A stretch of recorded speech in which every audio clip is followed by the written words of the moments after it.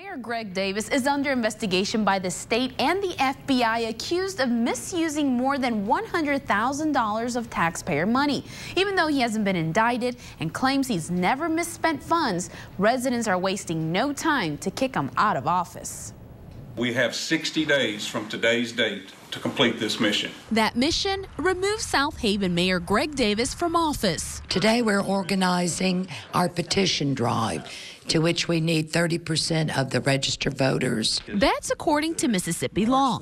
For that to happen, the group will have to collect 10,000 signatures. Then it's up to the governor to determine the mayor's fate. People couldn't wait to sign the petition. This wasting of money that he's done is just doesn't make sense, and I think it's time for him to go. People can do whatever they want to, but for the good or the bad, when you're in the public eye, you should be held to a certain standard, and I just don't feel like that's being met. There are reports the Southaven Chamber of Commerce paid Mayor Davis $207,000 over six years for dinners, trips, parties, and gifts without requiring receipts. It just kind of rubs me, you know, wrong to see someone living, you know, lavish like that off of taxpayers' money. The mayor also received a $2,700 longevity stipend, $5,000 for education expenses, all that on top of the mayor's $145,000 salary. They're tired of the uh, the way uh, things are happening around Southaven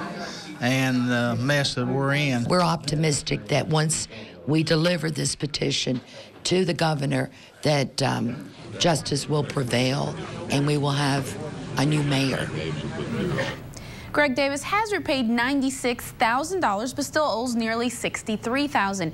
Now Mississippi auditors are looking at thousands more of the city's money. The state is in the process of a second investigation. The auditor's office has not determined when they'll know exactly how much more money Davis owes.